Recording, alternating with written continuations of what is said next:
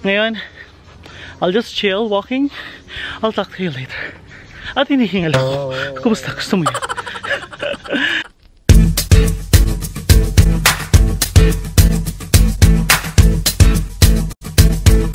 You're so delicious.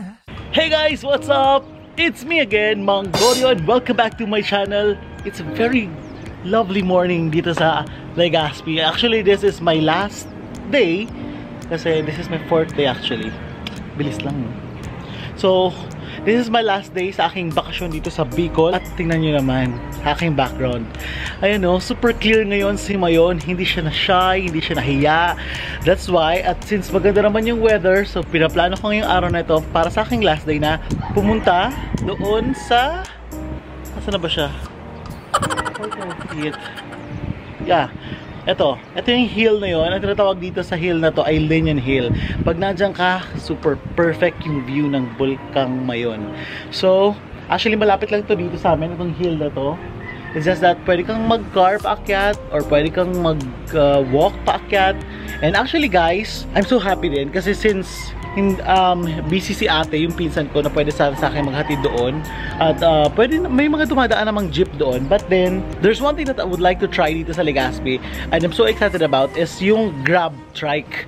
Yung mga hindi nakakaalam what is Grab Trike, It's actually a, what they call this, a service, a transportation service wherein you can book it through an app and then you, you just have to pin where are you right, where are you currently you just have to pin your location and then pin um, wherever is your destination. And then the total price of the fare will also be there on the app. So you you will know um, firsthand how much will are you going to pay to the driver.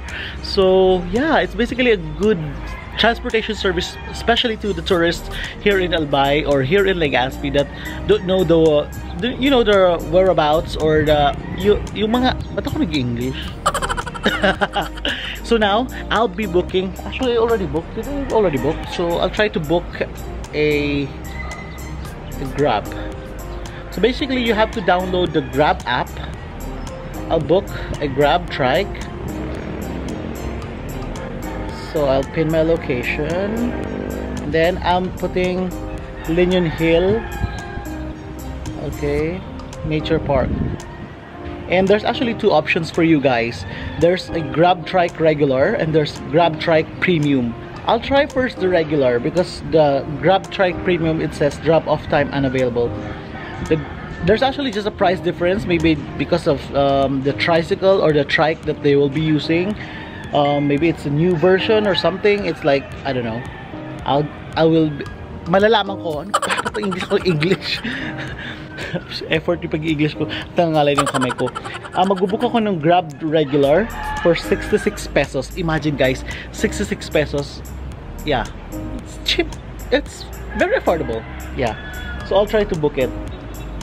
Ayan guys, once na-click nyo na yung um, book, start booking, yung app will look for a nearby driver para papuntahin dun sa location mo.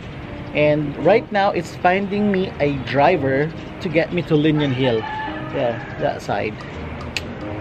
Well, sana meron. And it will show you yung gaano katagal makakarating yung driver sa location mo. At least you'll have to know, di ba?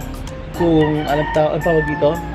Kung gaano na siya kabilis or kalapit or whatever. So, you can uh, prepare yourself, di ba? Come on, grab try. Huwag mo papahiyain sa vlog ko. di ba? Yung aming surroundings, guys, oh.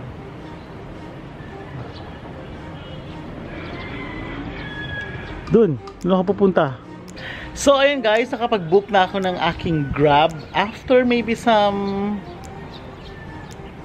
5 5 to less than 10 minutes kasi sometimes it shows you kung busy yung mga drivers kung hindi available yung mga drivers you have to kind of wait and try to do it again alam mo yun because you know medyo siguro hindi pa naman ganun karamihan yung mga uh, grab trike dito sa Legazpi ba so you have to you just have to try. So now where? The driver is nearby. So I have to be ready. I'll be going down now and I'll be waiting na lang okay? And you can also uh, try to communicate with the driver through call or chat para mas madali. Nandun din, nandun din naman yun sa app. So ngayon guys I'll see you sa Linian Hill. Let's go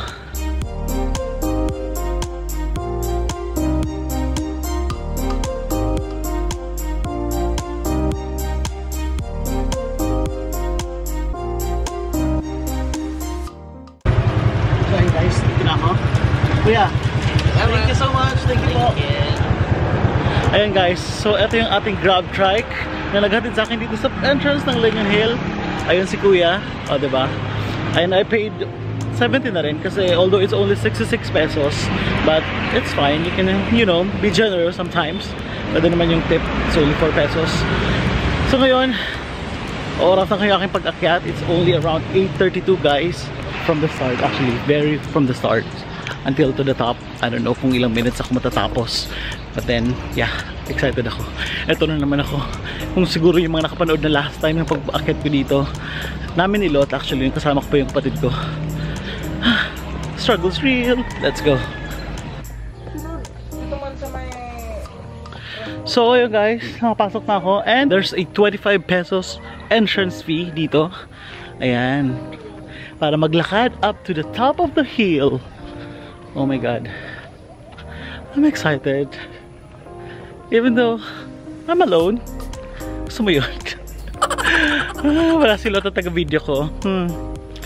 Anyways, okay na rin tong some me time, ba? Ha, wala rin si Manong. For sure mag-vlog yung pagkasama ko dito. For sure na for sure. Yan, sa mga nakakamiss ng Bicol, ayan po ang Linear Hill paakyat. Ang sarap na maglakad. Especially siguro kung early in the morning. But then, I'm kinda lucky. Please, sana tuloy-tuloy na to sa aking palastig dito sa Bicol na bakasyon, ba? Yung hindi ganun kainit, although it's already 8.39 in the morning. Yeah, please. And sana naman pag akit ko, nasa, pag nasa taas na ako, medyo clear na mas mas luminaw pa si Mayon. Alam mo yun, para mas makita talaga natin yung perfect cone niya, ba? Wow, I'm so excited for that. Ngayon, I'll just chill walking. I'll talk to you later. At hinihingal ako. Kumusta? Gusto mo yun? so yeah. Hey guys, so ngayon, nandito na ako sa taas. Time check, it's already 8.59. Siguro from 8.33, yeah, it's 8.33 to 8.59. So yun yung timings ko ng pagkarating ng pagkarating ko dito sa top ayan yung uh, talaga pinakatuktok at ayun si Mayon medyo na shy na siya. Medyo nahiya na siya ng very very light lang naman. Kasi makikita mo pa din naman talaga yung ganda niya 'di ba? Ayan. Kasi although iba talaga yung itsura niya kanina habang nasa rooftop ako sa amin 'di ba? Kung kanina naturo ko dito siguro nandoon ako sa kabila. Ayan nandoon yung bahay namin sa kabila. Ngayon nandito sa kabilang side ako ng hill. Ayan. At since medyo gutom na ako ayan meron ditong Ayan, ang ganda ng mga flowers dito. Since medyo gutom na ako, guys, meron dito mga cafe actually na pwede mong kainan. Specifically, itong Hilltop si Ate Ann. Ginagawa niya ako ngayon ng calamansi juice since wala silang available na ready-made juice like in can or Del Monte or something. Ito, Hilltop Cafe. Pwede kayong dumaan dito. May mga pagkain sila, may pa-breakfast sila, may mga something and stuff, may mga drinks. At ito nakakatuwa guys. Since medyo gutom na ako, hindi pa ako nag-breakfast, ito na lang titirahin ko. Ayoko na yung mga noodles noodles, although kasi may mga cup noodles dito. Ito oh, oh, nilagang saba.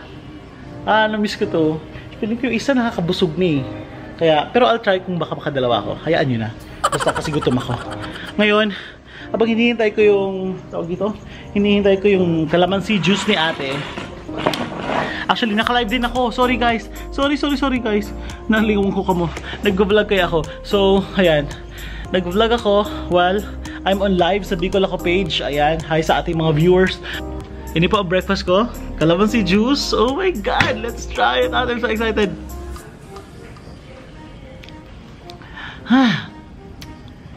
Mmm. It gives me chill guys actually kasi it's very fresh and it's very Basta si Rama. And, ano guys, so breakfast ko. Ayan, ito yung ating nilagang saging guys. Wait lang. Mm. Yan. Guys, kaon po kita. Kaon kita. Mga Bicol ako. Kaon po kita. Hmm. Hmm. Sarap. Kala po kita. Nagla-live din kasi ako guys sa Bicol ako bench kaya medyo nag-Bicol ako. Anyways, ang sarap na itong breakfast ko. Enjoy ko lang muna to. See you in a while. Papakita ko sa inyo yung view. Wait lang.